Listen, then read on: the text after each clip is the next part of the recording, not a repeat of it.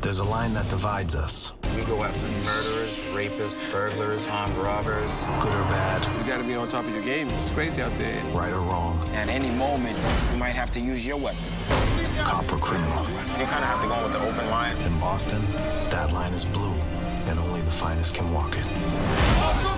From executive producer Donnie Wahlberg comes an all-new reality series, Boston's Finest. Premieres Wednesday, February 27th at 9, only on TNT.